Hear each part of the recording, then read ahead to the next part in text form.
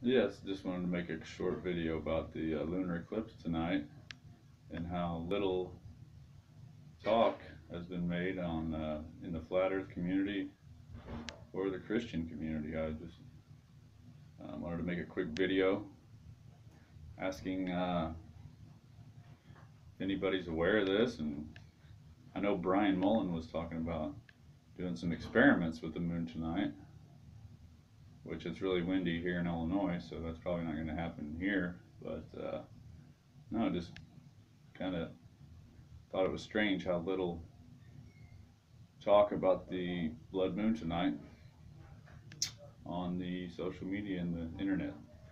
Have a good night.